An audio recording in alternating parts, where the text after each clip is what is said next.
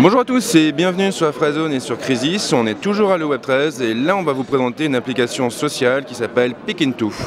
Alors Pick2 c'est relativement simple, c'est une plateforme, un réseau social qui permet de partager des photos de manière anonyme. Concrètement, euh, si je suis sur l'application aujourd'hui et que je souhaite euh, avoir euh, une vidéo d'une durée de 12 secondes, par exemple sur l'événement Le Web, je vais tout simplement faire une requête. Donc j'appuie ici, la requête est envoyée et elle va être reçue en temps réel par d'autres utilisateurs de Pick2 euh, sur la plateforme.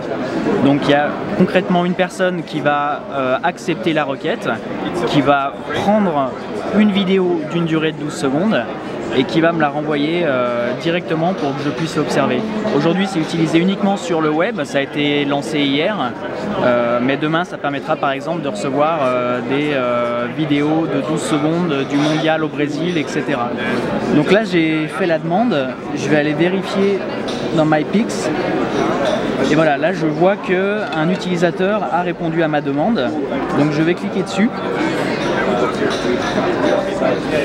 et je vais pouvoir découvrir la vidéo euh, qui a été euh, publiée par un autre utilisateur.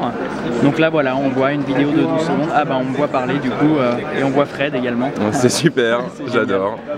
Voilà, donc concrètement ce service Pick2 permet de découvrir de la vidéo de tous les des quatre coins du globe concrètement.